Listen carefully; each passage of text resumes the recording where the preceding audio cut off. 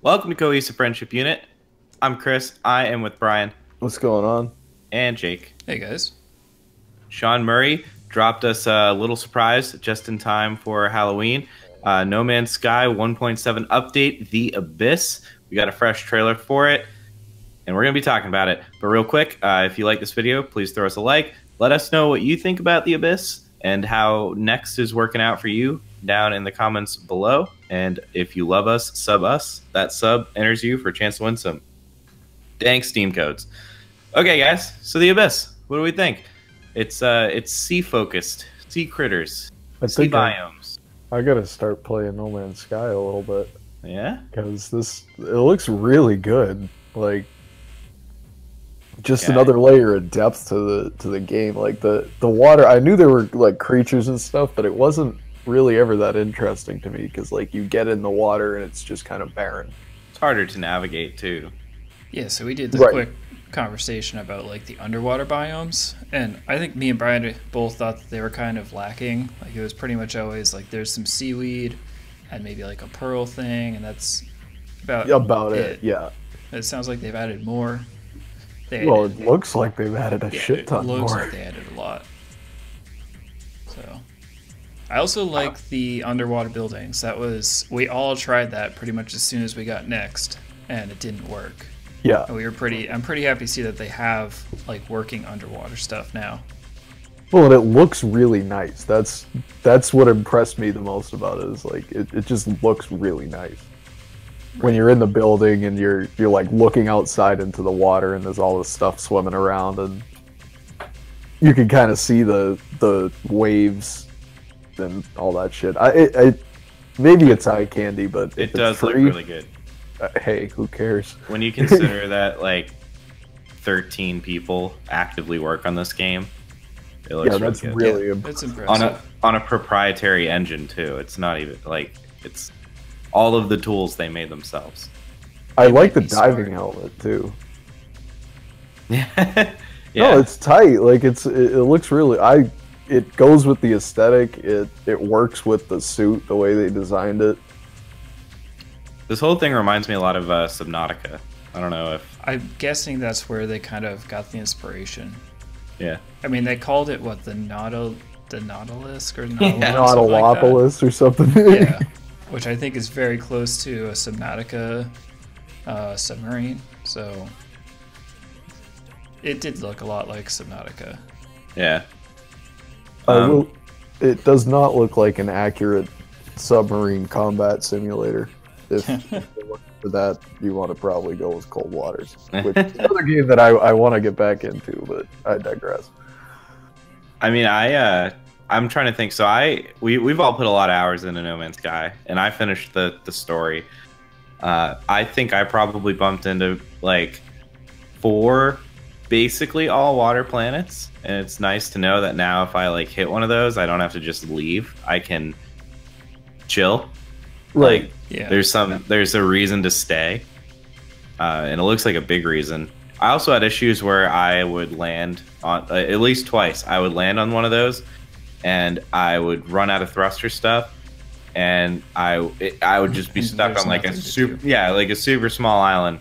It looks like this will be like a just beyond all of the cool stuff, like a little quality of life fix where like okay now you can go underwater get get the resources you need to get out if you want to just go in and get out. Yeah. I it looks I like that they're kind of taking they're at least updating the biomes and making the world more diverse. I mean, if you ever spend some time on the No Man's Sky subreddit, all it is is people saying, "Sean, please do this in the game. Please make volcanoes. Please make underwater stuff. Please make X, Y, and Z." So it's nice that they're they're kind of focusing on that. So Volcanoes, underwater. I underwater was just volcanoes. thinking volcanoes would be sick. Dude, i- i- I mean, underwater cool stuff. volcanoes like like thermal vents and shit like Yeah. that. right. That would Hey, it might if be in here. Well, and it they probably have the capability to do something that would be reasonable on that. To make the planets have like kind of a core Yeah. that could come out. Like so like if you mine too hard the lava would start coming out Ooh, that'd be tight. and yeah, Like Minecraft. yeah, but it's not like Minecraft because it's, it's not stupid. Ooh. You're you're exploring space. I do hope that this patch uh, addresses a little bit of the the multiplayer issues because I actually had a decent time like running through like the daily missions with Jake or Brian or whoever Yeah. when we could, but when they would break, it would just suck. Well, and they had three people, or they had at least three people in the trailer. Yeah, Like and no, they- I think They had a I ton think the actual multiplayer works fine, but when you're like running a mission, and then like somebody can't cash it in or somebody doesn't get the objective complete, I just hope like they polished out some of the the issues with that with Right. this. I think in our last video we kind of talked about how there was a lot of issues with like shared bases and the missions never worked and that like it, you could all be in the same game, but there was always some issue with it that kind of held it back, and then eventually we lost interest and haven't played Got it for a addicted while. to Rocket League. Got into Yeah, we we got heavily addicted to Rocket League. But uh, like I think a lot of those were fixed actually shortly after we made that video. They had a patch that came out that that improved a lot of the sharing stuff so like you could use other people's equipment and their storage containers and stuff like that. So, Yeah, I definitely hope so.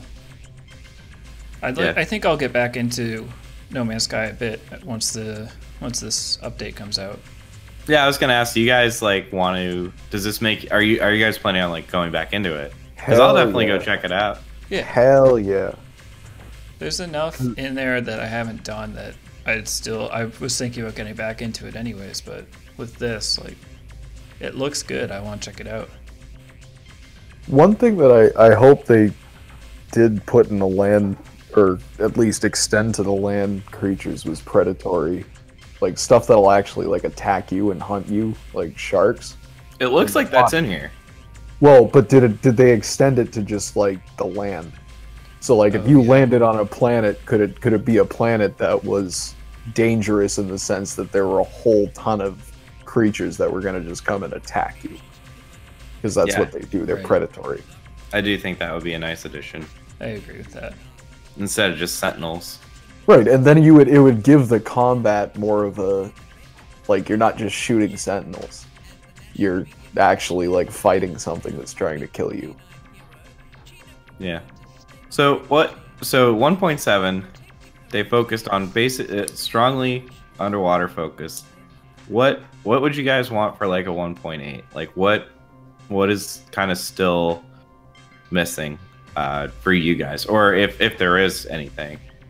Um, I want to see shipbuilding. Like I want to I want to see cool. like a system where you can put the ships together kind of I, and I think I've said this before, not really to the extent that like Kerbal Space Program does cuz you spend hours just putting together your your rockets and that, but like have a bin of parts that you can go and buy such and such and put them into a, a configuration and that's that's your Mhm. ship. I was thinking I would want um, multi multi man vehicles. Like th- Oh, this yeah, this sub is be cool, but like a multi multi sub or a multi ship where like there's a turret man. Now just make it easier to travel together. And this this next one's kind of a big ask, but it seems like every update they've had at least a little bit of story content. I think it would be great if they could integrate like uh, a six hour, maybe eight hour multiplayer or co-op campaign, like a campaign that you can only do missions with with another player. Uh, so it's it's more than just those like little fetch missions. Like there's some kind of dedicated little thing. Not crazy, not like what the main story is, but Well, that that makes a lot of sense. I think if they're trying to push the multiplayer aspect of it. yeah. I think that's for me. That would be awesome because I would love to like run through a little thing with you guys. I agree. I think that's the only thing I would look for is more story, and in my opinion, better story. Uh, but that's that's just me. Yeah, I was okay with it. Yeah, I, I so I see No Man's Sky as being very close to like a MMO kind of thing. Um, I realize it's not an MMO, but I see it as having the same setup of grinding and fetch quests, and I like to see a little more of those like small um, story quest lines that MMOs have.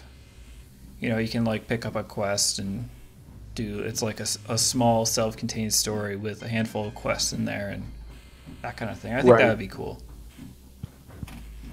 Yeah, it would give you more of a reason to play it. Right.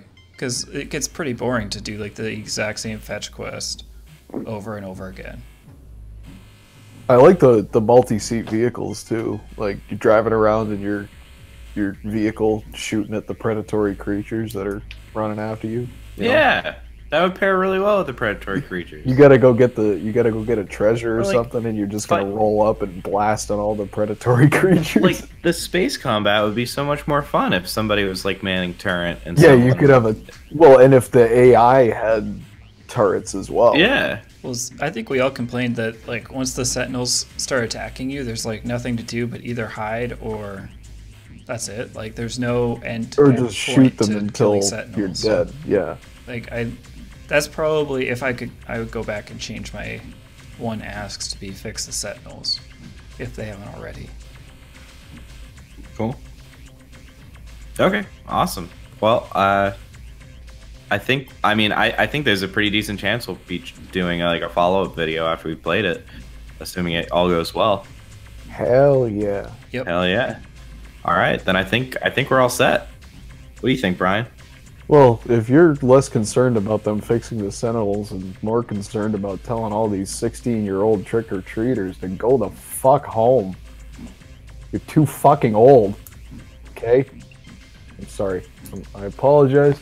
Uh, anyway, you can uh, you can hammer your thoughts on that down in the, the word box there. And uh, like Chris said at the beginning of this video, um, if you sub to this channel, you'll be automatically entered into a dank chance to win some dank Steam codes. So uh, go ahead and click that sub button as well as the little ringy dingy in the top right hand corner of your screen there so that you get continuously updated with all the continuously cohesive, cohesive friendship unit shit that we're doing here on the Cohesive Friendship Unit channel, which is cohesively, co- continuously cohesive. Yeah. And uh, smoke them if you got them, guys. That's all for me tonight, Chris.